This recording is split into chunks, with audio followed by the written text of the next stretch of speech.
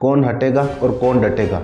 इसका फैसला शायद आज हो जाएगा। कौन किसकी पार्टी का साथ देगा और कौन पार्टी से बागी होगा? नामांकन वापसी का आज अंतिम दिन है, यानी कि आज तीन बजे तक नामांकन वापस लिया जा सकता है। जो किसी पार्टी से बागी है, वो प्रत्याशी। लेकिन अगर हम बात करें मुख्यमंत्री अशोक गहलोत की तो मुख्यमंत्री गहलोत पर आरोप लगाया है कि उन्होंने दो आपराधिक मामलों और सूचना छुपाने का आरोप लगा है।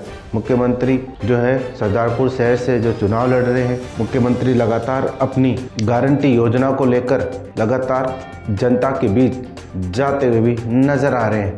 अगर हम बात करें बागियों की, बागी पर भाजपा पार्टी और कांग्रेस पार्टी लगातार कार्रवाई करेगी। अगर आज अगर वो नामांकन वापसी नहीं लेते हैं तो बागी किसका खेल बिगाड़ेंगे और किसका नहीं? अगर हम इसकी बात करें तो भाजपा में भी कई बागी जो है चुनाव लड़ रहे हैं। साथ ही अगर हम बात करें कांग्रेस की तो कांग्रेस में भी कई बागी चुनाव लड़ रहे हैं। दोनों ही पार्टियों पर घाटा होने वाला है। दोनों ही पार्टियाँ अपनी अपनी सरकार बनाने में जुटी हुई है।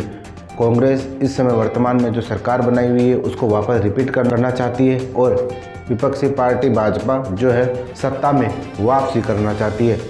अगर हम निर्दलियों की बात करें, निर्दलीय प्रत्याशी तीसरा मोर्चा भी खड़ा कर सकते हैं। क्योंकि हनुमान बेनीवाल, आम आदमी पार्टी और आज़ाद पार्टी, ये तीनों पार्टियाँ एक होकर मैदान में चुनाव लड़ती हुई नज़र आ रही है। हनुमान बेनीवाल ने अपने प्रत्याशियों को जिताने में लगातार रैलियाँ करते हुए भी नज़र आ रहे हैं। फ़िलहाल इस रिपोर्ट में इतना ही। देखते रहिए जन आयाम न्यूज़।